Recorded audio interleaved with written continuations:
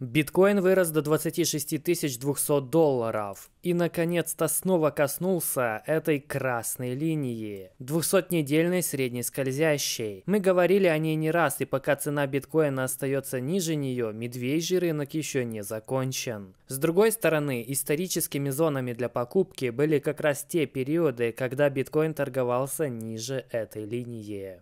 Целый год мы наблюдаем за тем, что делает ФРС США, пытаясь уследить за ее действиями и как они влияют на общую ликвидность на рынке. Самый важный график – это график чистой ликвидности на рынке, которую предоставляет ФРС США. Когда ФРС убирает ликвидность из рынка, начинается медвежий рынок. Это количественное ужесточение. И когда, наоборот, впрыскивает ликвидность в рынке, начинается булран. Это количественное смягчение. Это сравнение графиков биткоина и ликвидности ФРС США. И мы видим четкие закономерности между ними. Что нужно понять понять это то, что совокупность процентных ставок, рынка репо и баланса общего счета казначейства США определяют количество ликвидности на рынке, стоимость капитала и то, куда эти деньги идут. Кстати, сейчас рынки закладывают 86,4%, что 22 марта ФРС США повысит ставки на 25 базисных пунктов. ФРС США только что обратили вспять половину своей работы за последние 14 месяцев. 14 месяцев они выкачивали ликвидность из рынка для того, чтобы снизить инфляцию. И прямо сейчас график баланса ФРС США подпрыгивает на 300 миллиардов долларов. Только что они нивелировали половину результатов своей работы. Они не называют это количественным смягчением. Они говорят, что это помощь банкам. Но какая разница, как это называть? ФРС США только что начала печатать деньги. И еще напечатает скрытно до 2 триллионов долларов ликвидности в попытке поддержать банки и финансовые институты не только в США, но по всему миру.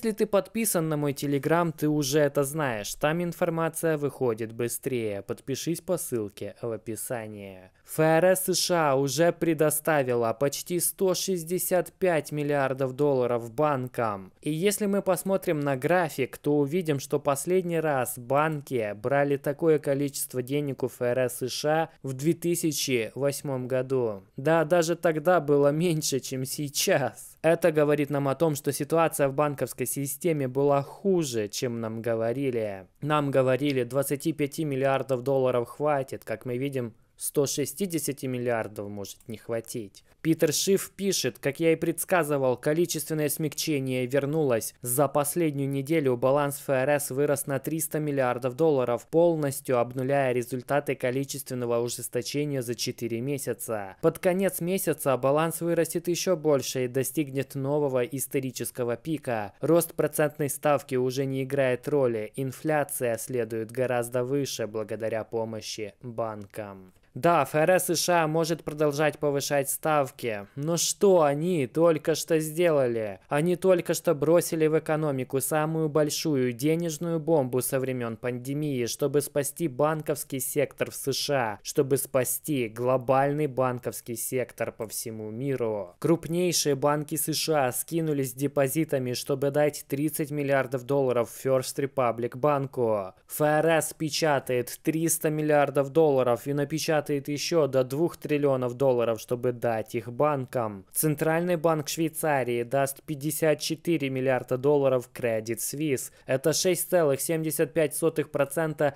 ВВП всей страны. Колоссальная сумма. Настолько колоссальная, что спасение Credit Suisse составляет более половины всех расходов правительства в Швейцарии в этом году. Мы видим, что не только в США банковская система нестабильна. Повышение процентных ставок ломает систему везде. И мы говорили не раз, что это может что-то сломать. И тогда правительствам придется вмешиваться. Тогда ФРС США придется вмешиваться. И когда это произойдет, это может привести к росту рискованных активов. С одной стороны, ФРС США нужно продолжать бороться с инфляцией, поэтому нужно повышать ставки. А с другой стороны, мы имеем банковский сбой, поэтому нужно впрыскивать ликвидность в рынке. ФРС США даже решила изменить способ подсчета инфляции. Об этом мы говорили в этом видео месяц назад. Даже такие экономисты, как Питер Шиф, уже не знают, как именно ФРС рассчитывает инфляцию. ФРС балансирует на двух стульях сразу, и обычно это заканчивается плохо. Но сейчас они вливают 300 миллиардов долларов ликвидности и собираются влить еще 2 триллиона. Биткоин реагирует на это немедленным ростом. До 26 тысяч долларов. На самом деле, даже если отбросить это все в сторону, что я могу сказать? Мы наблюдаем невиданную ранее атаку против биткоина и криптовалют на фоне коллапса банков. Но биткоин и был создан против этого, против этих жадных и желающих власти банков против центральных банкиров, против этих преступников и печатных машинок, против продажных политиков и системы, заточенной на бесконечное обнищание народов, против старой финансовой эры. Меня зовут Богатейший Ди. Увидимся в новых видео. До скорого.